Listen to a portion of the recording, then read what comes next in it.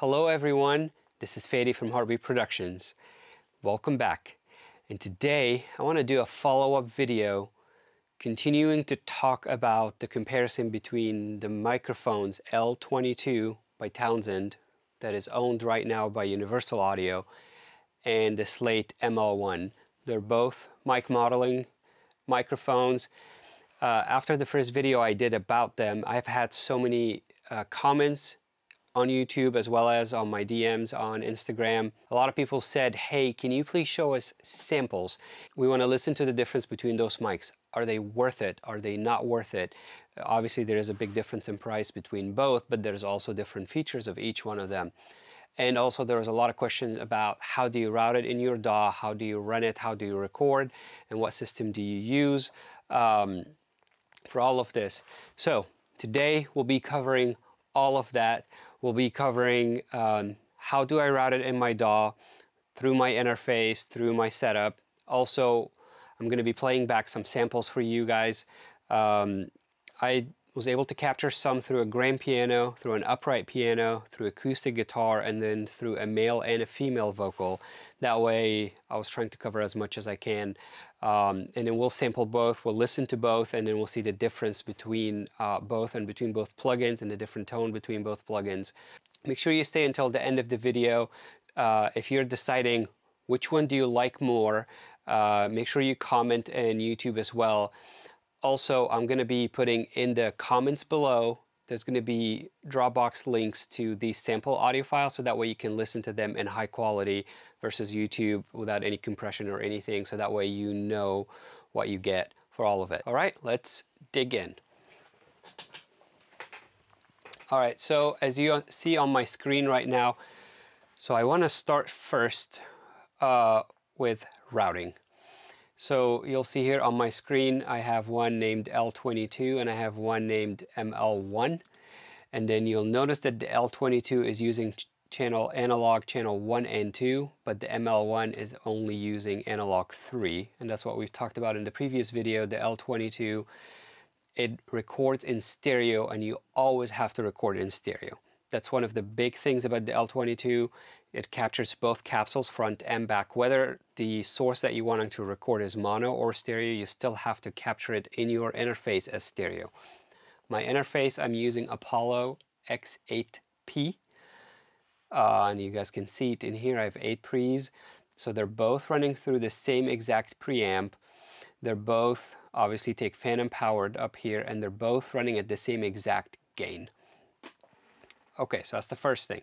Now the second thing, when you use this, do not use any of Unison from Apollo. That will color the sound and you do not want to be doing this. That will mess up with all of your mic modeling software and it just will color it before it hit the software that is supposed to color it and then you don't get any accurate results that way. So people who ask me, okay, how do we monitor this in our ears? All right, so let's talk about the difference between both. For the L22, you have two options in here because this is, let's say we're going to record mono right now. You're recording a vocalist, a singer, and then that singer wants to obviously hear themselves back in their ears really well uh, was a good quality. That's the advantage of the L22, especially, well, not especially, only if you're using the Apollo console and if you have an Apollo interface. So right here, I will go not in my unison, I'll go in my inserts and I'll actually go into my microphone and then if I'm recording in mono, so the mic is turned this way, um, if I'm recording in mono and the mic is turned where you're only recording at the front capsule of the mic, then you're going to use the Townsend Lab Sphere.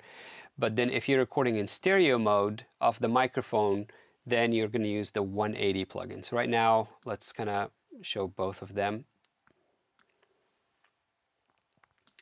So this is I'm recording in mono.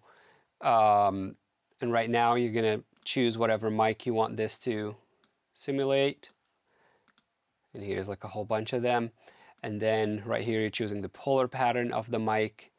And then the filter, which is the low cuts basically at 60 hertz, 100, 200 off axis, on axis proximity, which is how close you are to the mic and how far you are back from the microphone. Um, and then I'm going to close this window really quick. Then all of that right now, up here was that blue dot. You can tell Apollo this is only for monitoring reason. So the uh, artist is hearing that back in their ears, but when it hits the DAW, it's not printing any of that. And if you turn it into red, that puts the console in record mode, which means it will print that plugin. So now when it hits your DAW, this is it. You cannot go back and change what mic you wanted to use or what options for that mic. This is how you would monitor from your DAW, I'm sorry, from your console to your artist before you hit your DAW for the Townsend L22. The advantage of that is that you can, let's say we're not going to print it right now, is that you can actually choose what mic. So you're monitoring with even choosing different mics. So it gives you a little bit more versatility versus the ML1, you only have phantom power, the mic is on, which is the mic is in its like purest flat response form at that point, but you're not able to monitor in zero latency back in their ears what they're hearing. And if you want to do this from inside your DAW, especially if you have a big session, obviously there will be some latency. And if you have a lot of plugins in this session uh, on all your instruments and everything, then it will be a lot of latency. So this is one of like the drawbacks of the ML1 that you cannot monitor back in their ears with all the mic emulations and which mic they want to listen to back in their ears. Um, okay, so this is how I would record. Um, now, a lot of people asked in the previous video, okay, do you process before or after? How do you run through your outboard gear? Uh, normally, so this is how I prefer to do it. I keep it on monitor and not print. That way I have full flexibility in post to change it, especially if I'm mixing a song. I would like to that voice to be a little bit brighter. Instead of actually putting an EQ, I would choose a different microphone. And then for the artist purpose, I would go in here and put a preamp. So I'll put a 10, um, let's say 1073 uh, or let's grab from here, Neve 1073. So this is uh, my pre right now. And then, so you have your mic, which preamp, and then I can put here like an EQ and a compressor or something like that. So that way they have really nice punchy, amazing vocals in their ear. And I'll send to an auxiliary for reverb as well. Here is my auxes. I'll put a reverb and I'll send to auxiliary one for some reverb in their ears. And if even when I'm using the ML1, uh, I would also put in here uh, an EQ and a compressor or something, or even a 1073 only on monitor, not on record. So that way they still have really good quality in their ears that they're hearing. And then after I put this in my DAW and after I choose what mic I want it to be or to sound like, then I would uh, process them. And if I want to run it through outboard gear, I'll take an insert from my DAW back to my outboard gears and a return back to be printed into the DAW and process it that way, which I'll talk about that in a different video. Okay, so let's now say uh, we did this, we put the sphere, and then put whatever you want to put afterwards just for the monitoring reason. Then now you're good to go. Now let's go to the DAW. I use Pro Tools. Um, so you guys will follow here on Pro Tools and there's all the samples that I've created for everything. So right now, so let's go upright piano. So this is an upright piano uh, that I recorded the L22 and then the ML1 and you can notice that in Pro Tools I'm creating a stereo track for the L22, but I'm creating a mono track for the ML1. I'm using the normal Sphere plugin, not the Sphere 180, and that's because I'm recording the, the mic in a mono mode in front of the piano. And uh, you guys can see in, in the video right here how I'm showing uh, both mics and how they're facing the piano. Try to put them right in the center of the piano so that way I can get really close sound for both of them for right here. I went with the standard right now. So we're simulating the 47, which is the Neumann U47. Uh, if you get your hands on one of those, it's normally around $20,000. And they don't make, like especially the original ones, they don't make them anymore. Um, so those are really expensive microphones. And then I'm using right now just a straight cardioid pattern. I'm not using any filters, which is the low cuts. That way I want to keep it exactly the same as the slate. Axis is at zero, zero proximity effect. Um, this is also one a really cool feature that the Sphere has. It's called Isosphere, which is basically you can add in here as if you were using some form of a shield, including even a vocal booth. I played with this a little bit and I tried it, and in my honest opinion, I don't like it at all. And I'll show you guys some samples with it on the vocals. Uh, it kind of messed up with the tone of the mic significantly more than I would like it to be. I would rather just track in a clean room, and my room is completely dead and treated, so that way I don't, it's not completely dead, but it's very well treated uh, my tracking room, so I don't necessarily have to do this, but I'll show you guys samples with and without it, so that way you get an idea. All right, so here's the sphere. I'm gonna leave this open so you guys can see it. And then here's the slate. And in the slate, you would, when you do this, you would put the slate mic first, and then from in here, you choose which mics. So we're using the 47 to be at the same.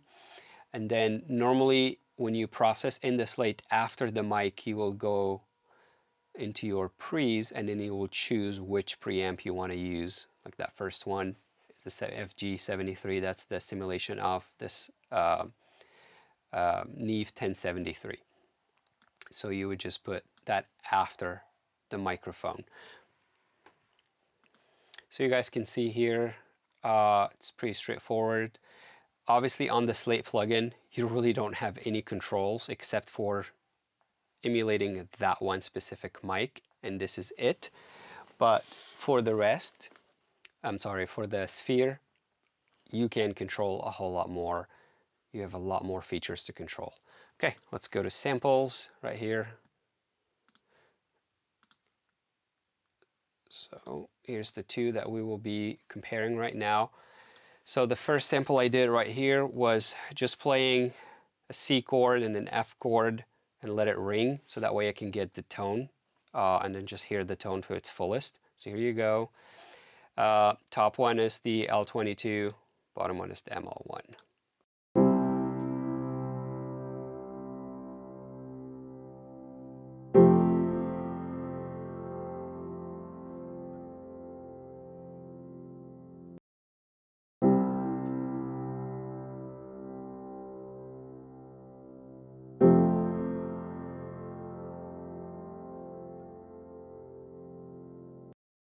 Super close. Especially when I played that chord the way I did it and the just kind of like the, the tone of everything, they're very, very close. I used here the um, FabFilter EQ. Uh, I'm not applying any EQ, but I'm using this so we can actually see comparison between both in here.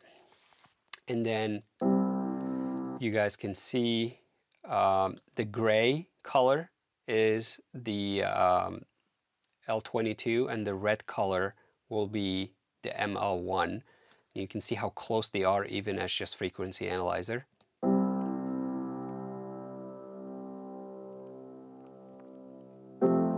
Super close, just very, very minor differences between them.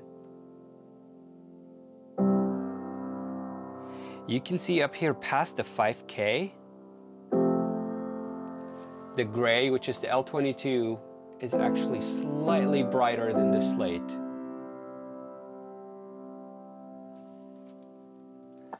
And well, you'll notice that more on vocals once we hit to the vocals.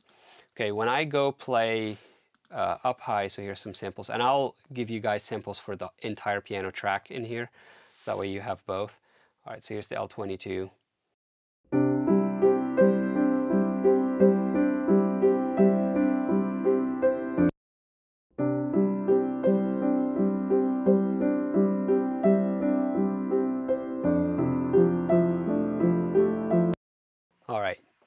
You actually can tell the difference. There's a lot more going on. Now that, um, in my opinion, and uh, some people might disagree with me, the L22 is cleaner. The mids on the L22 are cleaner and the highs are more crisp. And they're more, uh, just they're slightly brighter and it cuts through much better and it doesn't have that um, kind of muddy mid-range. Um, I'll play it one more time and then I will have the EQ so you guys can see both. Here's the L22.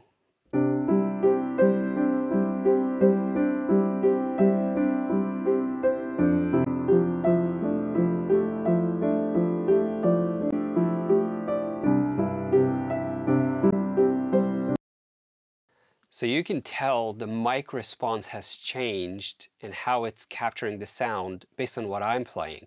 When I played just a simple chord, they were very similar. When I played this pattern, it actually, they were not similar. I personally prefer the L22 here than the slate. The L22 is a lot cleaner to me and it punches.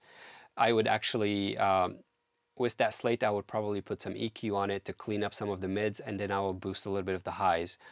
Um, can you get it done with an EQ? Probably, but I'm always like a purist form in term of I want to capture my source at its highest quality and I don't want to worry about that.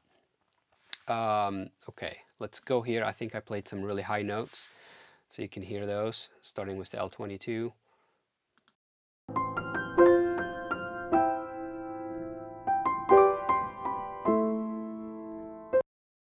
Now it's a slate.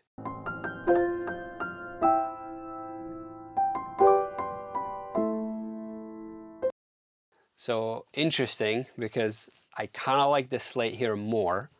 I guess because I went really up high and this slate sounds slightly darker, then it made me feel like, okay, I like the slate here more because it's not as bright compared to the L22. So play it one more time. The L22.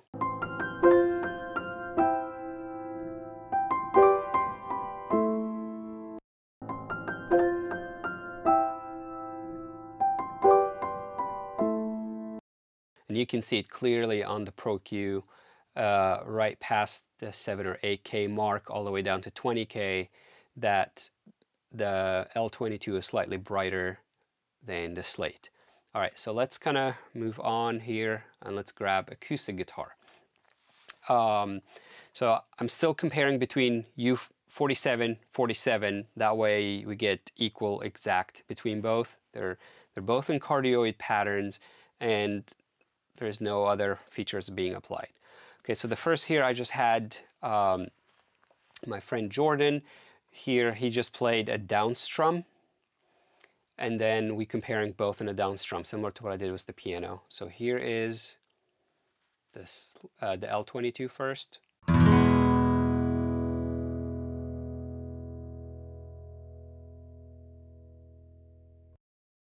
Slate.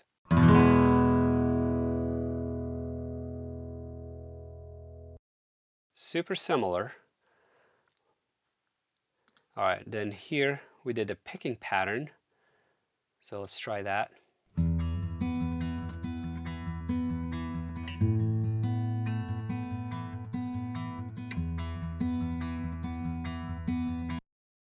Going to the ML.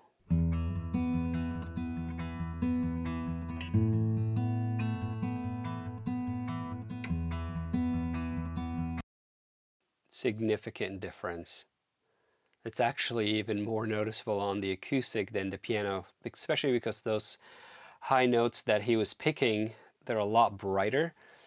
So you can tell now the difference how these mics are responding in the high frequencies where the L22 is so much cleaner in the highs and slightly brighter and cleaner in the mids, while the slate is slightly warmer in the highs, less bright, but it's also more muddy in the mids and I'll have to EQ that a, a lot more. Play it one more time here.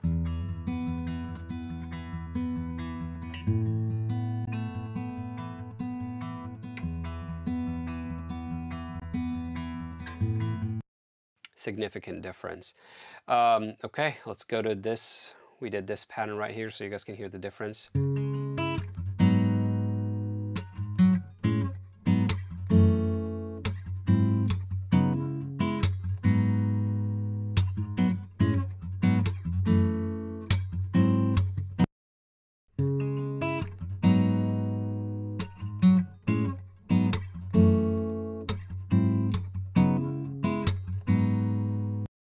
Significant difference in the mid-range. Specifically here, I'm hearing a lot more mids on the Slate versus the L22. I want to try something and see if that makes any difference. So I read this where the intensity when you boost that, the mic responds slightly different. So I want to, uh, so I'm pushing the intensity right now to 150 on the slate mic and let's try it with that. All right, so here's the L22.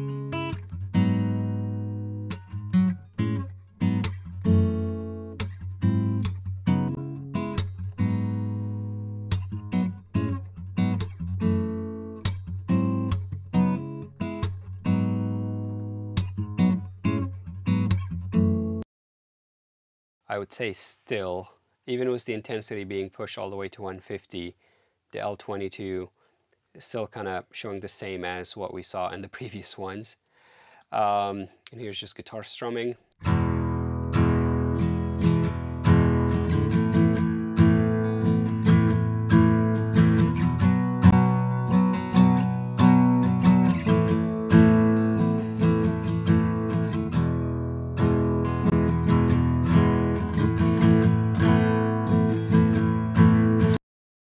You guys can judge that for yourself as well.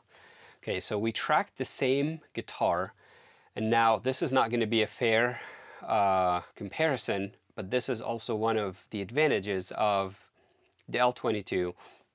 So I turned the mic 180 degrees to record it in stereo mode, and now you can see the difference. I'm using the Sphere 180 plugin instead of the normal Sphere plugin. Um, and then I'm able to capture that guitar in stereo. So let's talk about this uh, just really quick right here. And this is one of the amazing things that I absolutely love about the L22. So patterns, I'm keeping them the same, which is the cardioid pattern. Um, filter, I'm turning it off. And then centered. And then the width, I'm keeping it at 100% right now. And I'll show you guys the difference in just a minute in here. So you can click that link and unlink. When it's linked, it's changing, it's keeping both mics exactly the same. When I change this polar pattern, changes on both mics, which is the left and the right. If I change the mics, it also changed them on both. If I unlink this, I can now have an unmatching stereo pair where I'm having my left side is uh, a Neumann 47 in a cardioid pattern, and then my right side is a Neumann 49 in a cardioid pattern or in a subcardioid or a supercardioid, uh, so whatever you want. And that would, it's really cool to be able to do this for specific things depending on your need. Um, so let's kind of match it right now. So here's matched, and this is at 100. Uh, so let's pick that uh, last, this pattern right here.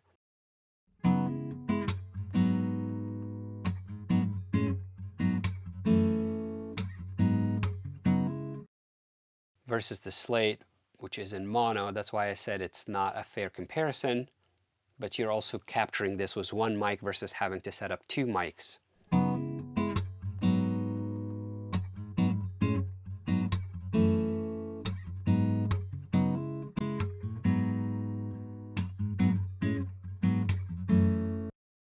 Obviously the difference is very clear and very obvious. Um, and then uh, since we got to this point, I want to show you guys that a couple things here in the stereo mode for this mic that is amazing. Uh, the width. So I'm going to mess around with the width as you're listening and I'm going to start with a really, really narrow at zero and then all the way up to 200.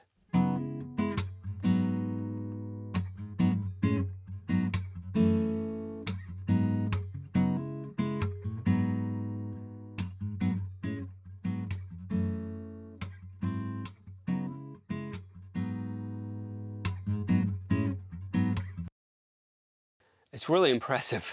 You're, uh, you can see how it's almost like somebody is physically grabbing those two mics and moving them away from each other.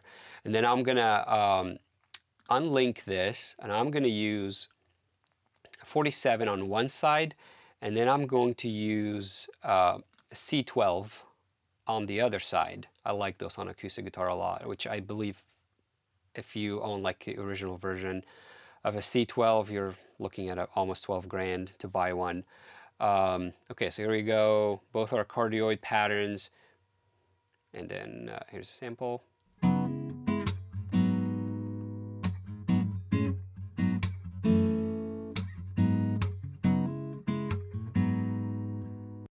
You can actually tell right now when I switch back to the 47, the stereo image when I was using the C12 is wider because you have a mismatching left and right. And normally when your left is slightly different than your right, it makes you feel like the stereo image is slightly wider in tone. And when they were matching, uh, it was slightly narrower in um, stereo image, which is one of the, again, great things about this. I was able to capture all of this just using one microphone. Uh, okay, so let's, uh, let's continue moving on and I will address the polar patterns in just a second. All right, so here is um, a male U47 and then the slate is also the 47. So they're both at the same. And here's my friend Jordan again singing. So let's listen to the difference. I studied your shape, baby, I traced you. So don't fear all the lies, cause I won't erase you. I studied your shape, baby, I traced you. So don't fear all the lies, cause I won't erase you. I so back again to the same things we've noticed. It is slightly different, especially in the mids. Now on his vocals, I'm noticing the mids more, where I kind of like the sphere honestly here more because they're cleaner in the mids on his vocals than uh, the ML1. Um, let's grab another sample from back here. And then um, here's a go, the L22 first and then the ML1. Baby, I think you and I are going places. Baby, I think you and I are going places. Slightly closer than the previous one. Let's play it one more time. Baby, I think you and I are going places. Baby, I think you and I are going places. Definitely the L22 in that take, slightly brighter than the ML1. When he started singing a little louder, the mids weren't bothering me as much on the slate, but the highs are definitely crisp, more crisp on the L22. Um, let's grab the female, and this is our friend Sasha here, uh, Jordan's wife. And um, same thing, we're still using the 47 on both of them. Let's change the world and save it with our love. Let's change the world and save it with our love. Now on a female vocal, the difference is more noticeable than a male vocal. I'm going to play it one more time here. Let's change the world and save it with our love. Let's change the world and save it with our love. And so you can see the difference in here. Um, again, I find my ears more leaning toward the L22 than the slate for those reasons. Um, by the way, this is not a paid um, video from neither one of the companies. I own two, two of the Slate mics and I own the L22 and uh, this is to help a lot of people just make um, their decision about it and uh, what they want to do for themselves. So you get to decide and you'll have all these samples and you get to decide for yourself. Um, since we are on the female vocal, I want to show you guys something. If I go here and change polar pattern, it'll actually significantly change the tone. Uh, so here's the cardioid. Here's the cardioid. Let's change the world. Let's change the world. Let's change the world. Let's change the world. Let's change the world. Let's change the world. Let's change the world. Let's change the world. Let's change the world. So you can see the difference in here. I just did that as a quick sample so you guys can hear the difference between different polar patterns. Uh, the filter, this is just a basic low cut, so there isn't really much to show. I'm going to show you guys the axis as I'm moving the axis. So basically it's almost like when you're singing, you're singing off the mic, and then you can move it all the way up to 180 degrees. Let's change the world. Here's at a 90 degree from the mic. Let's change the world. Here's at 180 degrees. Let's change the world. Um, I normally never use the axis, barely even had to. Uh, it's helpful if you have a singer singing off the mic and you want to fix that, um, or a guitar and he turned a little bit while he's tracking, so he's slightly off axis, so you're adjusting that in post, which is another couple of the really cool features that uh, are only present with the sphere. And then, like I said, I'm going to show you guys this. I'm not going to go through all of them, but I'm going to show you just, you get an idea. So I tracked my vocals in my room, which the room is super clean and uh, doesn't have any echoes in it. I have panels everywhere, ceiling and sides. And um, now if I use this reflection filter, and then I in, I'm going to play it back uh, bypass first, and I'm going to uh, enable it right after.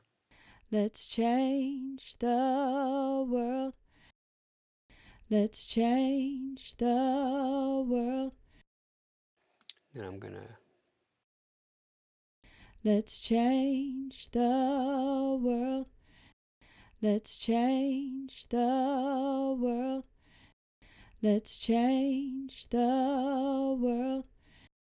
Let's change the world. Let's change the world. Let's change the world. Bypassing. Let's change the world. Let's change the world. It really messes a little bit with the tone. And um, I don't know. I I like capturing the this in a really clean room without having to use this in post. And I highly recommend you guys do this as well. Let's change the world. Let's change the world. It almost like, like especially in that vocal booth uh, filter, it almost like muffled the sound a little bit. Um, I'm not a big fan of it. But anyways, um, now, um, like many of you have asked, okay, so what do you do um, after this. Uh, basically, here's my sphere, and then second to the sphere, I'm going to choose what mic pre I want to run it through. If I'm using a plugin, I'm just going to open from here, and let's say if I grab the Neve 1073, here's the, U, the one by UA, or if I am going to run it through a real uh, mic pre, I can just basically uh, grab from here an IO and grab an insert and then run through my patch bay, a round trip through something. Um, I know that some of you guys asked about mono versus stereo. Do I need two mic pre's for this or not? Obviously, if you use the plugin, it doesn't really matter. And then if I right click on this, so if you want to run it through a mic pre and you want to run only one channel, which I understand because you don't have two 1073 sitting in your studio and you're going to run left and right and match them. So basically commit this. So I would right click, I would commit up to this insert. And I'm going to leave, do nothing. So just to leave. Okay, so here's the committed file. It's that one. And then I would go in Pro Tools and I would say split to mono, which it would split it to mono. And then I'll delete the stereo committed file. And then I'll delete one of the monos, doesn't matter which one. So I'm going to get rid of the right one here. And then now you have a committed mono track of this. Let's change. Oh, this is pan to the left. There you go. Let's change the world. And then just process that uh, as a normal mono and then take it and do whatever you want to do with it. Um, versus it's audit, run it through a pre, hardware pre, or a, or a plugin insert or whatever. And then for this slate, I'm going to do the same. So if you use their pre's, you just put it right after the mic. Or if you don't want to use their pre's, you can use any other pre as just an insert in here. Or if you want to run it, the slate is a little easier but since it's already mono, then you just grab it and send it through um, a hardware plugin is just a one channel and just process it. I normally, uh, in scenarios like this, I would run a Pro Tools insert uh, from here from the IO, which I'll make a separate video about Patch Bay and how I'm running that. And I'll process this mic as if I'm analog processing uh, a normal vocal chain. So I'll run it normally through my either the 4710 or the 1073 and then I'll take that into my API compressor and then for a fast attack compressor and then I'll take it back into my 2A for a slower attack compressor and then I normally end up putting an EQ from the Pultec and sometimes I put also tape saturation from the Neve tapes. Um, and then um, I'll do a completely separate video on vocal chain and we'll do a process for my vocal chain and what's my favorite and what's not.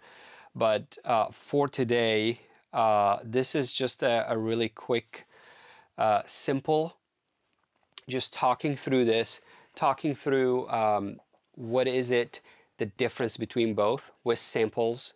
Again, you guys can download the samples. I'll put them in a Dropbox in the comments uh, in the descri video description below. So that way, make sure you download them so you can listen to also the samples in uh, high quality. I hope this really helped you. Uh, if you really like this video, make sure to subscribe and uh, I will see you in the next video.